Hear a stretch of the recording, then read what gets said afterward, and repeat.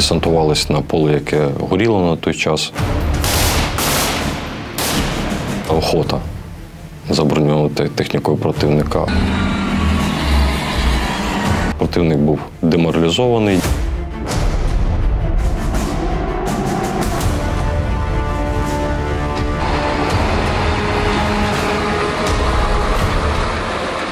На початок е, антитерористичної операції посада в мене була як командир парашютно-десантної роти парашютно-десантного батальйону 25-ї окремої повітряно-десантної бригади.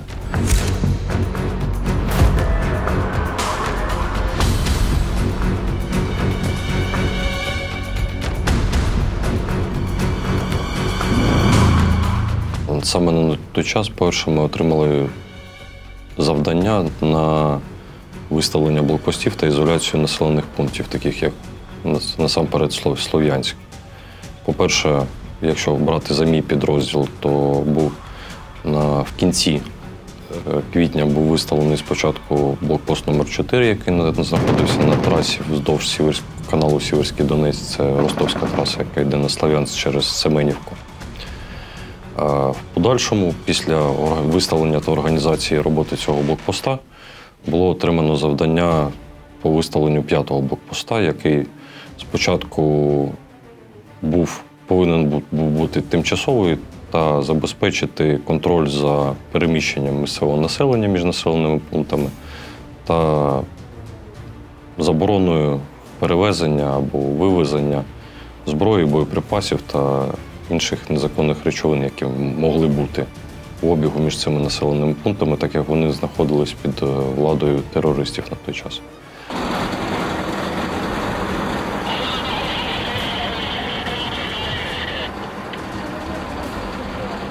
Можна так зауважити, що з початку червня, кінець травня, початку червня, коли почались операції по визволенню містечок навколо Слов'янська, розпочалася активізація ворога на, дан- на даному участку, коли він почав втрачати міста, втрачати з-під кон- контролю селища та концентрувати свою увагу на інших напрямках. Можна згадати, щоб не зупинятись сильно на цих подіях, хоча можна так взяти, що ті події, які трапились на той час на напрямку, як е, підрозділів, які знаходились на Карачуні, так і на моєму напрямку, на напрямку блокпоста, це події, які нас двигали в подальшому, які дали якийсь позитивний великий заряд бойового духу для підлеглих військовослужбовців, які зайнялись та пішли вперед, вперед, вперед, вперед. Тому що після цього ми йшли тільки вперед.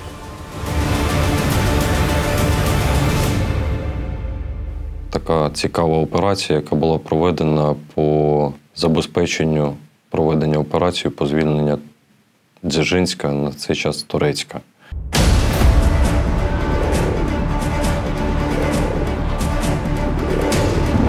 Ця операція нагадувала, можна так сказати, класичні десантно-штурмові дії, коли мене викликали в штаб АТО.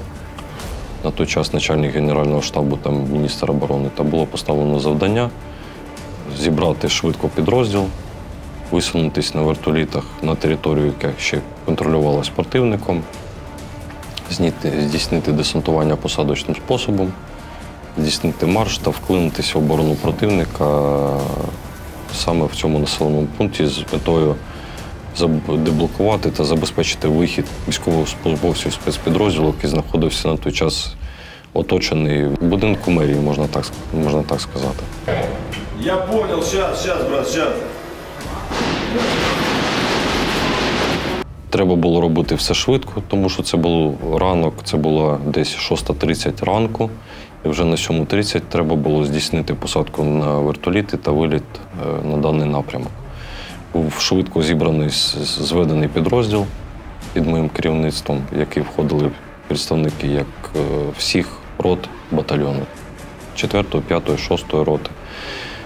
Нас підсилювала протитанкова частка е, військовослужбовців протитанкової батареї протитанкових керованих ракет нашої бригади та військовослужбовців розвідувальної роти на чолі з начальником розвідки. для забезпечення до розвідки маршрутів висування після десантування та виходу в сам населений пункт.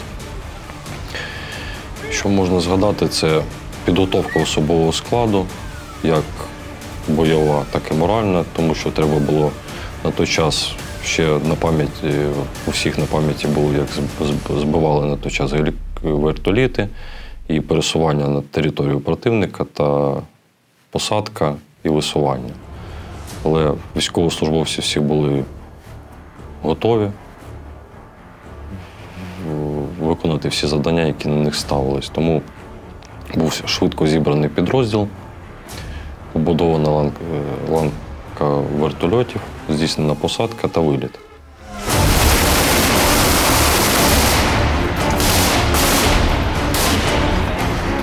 У зв'язку з деякими е, обставинами, а саме веденням бойових дій на території даного міста, посадка була здійснена трошки не у визначеному місці, що тут теж викликало певні труднощі, тому що військовослужбовці, які були важко екіпіровані, з певною кількістю боєприпасів, св- сверхліміту, тому що не можна було так сказати, прорахувати всі дії противника, що він буде робити, як відходити, заходити, укріплюватись, е, як він буде зривати наші спроби увійти з метою деблокувати. То кожного військовослужбовця було по в середньому по два БК до стрілецької зброї та ще групова зброя. Це протитанкові керовані ракети, кулемети. Тобто це досить велика вага. Е, До речі, десантувались на поле, яке горіло на той час, тому що були артилерійські обстріли. Ще треба віддати повагу вертолітникам, які здійснили цю посадку, висування, безпечну посадку, забезпечили наш вихід на визначений рубіж. Координація роботи артилерії на той час була дуже затруднена, тому що ще не було нашого забезпечення роботи якісної нашого повітряного реєстратора, так як ми не контролювали весь простір над противником. Тому робота частково була по мобільним телефонам. Були навіть спроби противника вийти на мій мобільний телефон та зірвати цю операцію. Телефонні дзвінки, в яких е, представлялись, е, можна так казати, е, військовослужбовцями високих рангів та перенацілювали, на виконання завдань на інших напрямках, що треба підійти, десь забрати якісь боєприпаси, десь кудись в інше місце вийти і так далі. Ну, це потім вже після цього треба було міняти номера телефонів, е, картки віддавати підрозділам на той час, які там знаходились підрозділом СБУ для перевірки, тому що звідки, як, і це влучалося. Взагалі не повинно було бути мобільного контакту, так як вся операція була спланована по, похвилинно. Е, Роботу наших підрозділів я знав по роботі артилерії, яка працювала. Я знав цілі, по яким вона працювала. Я це бачив і для себе розумів, де на цей час знаходяться підрозділи з іншого боку. І в певний період часу відновилося радіо, відновився радіозв'язок. Е, Але це був радіозв'язок просто з підрозділами, які на той час теж підходили до міста, але з іншого боку.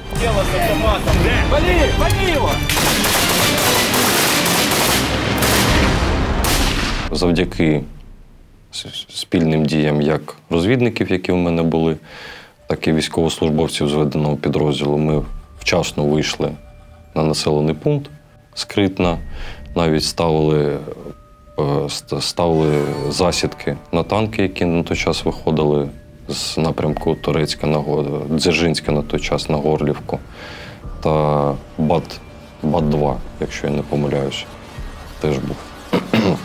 Була така свого роду охота. За броньованою те- технікою противника. А піхота виконувала завдання по деблокуванню і одразу, входячи в квартали міста, ми проводили прочісування.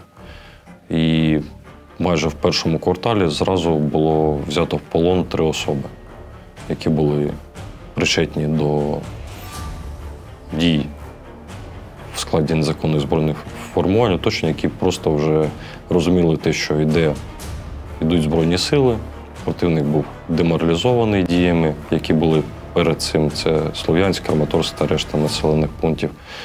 І, так казати, не всього противника їхнім керівникам вдавалось контролювати.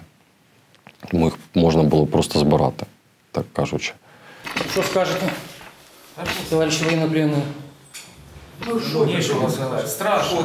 Дуже важко було ідентифікувати. Чому? Тому що у них не було документів особистих.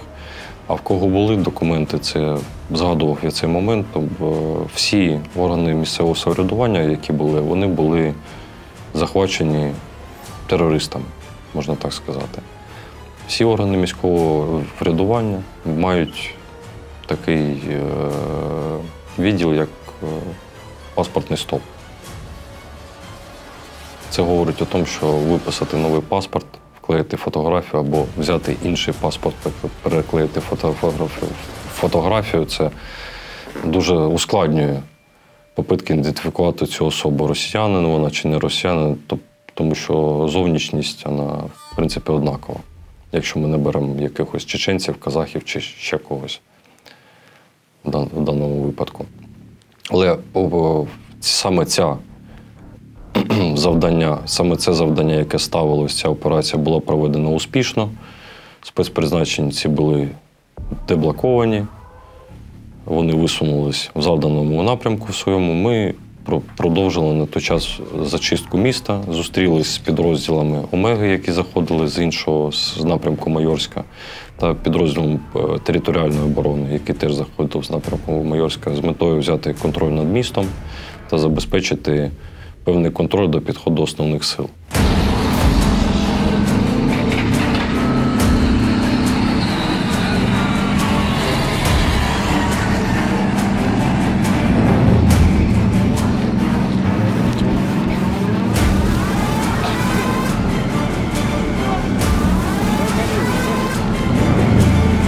Було здійснено знов таки ж е, марш своїм ходом на відстань десь близько 10 кілометрів до посадочного майданчику на ці вертольоти, які повернулись за нами, та повернення в тимчасовий район, в якому ми знаходилися на той час, це Краматорський аеродром.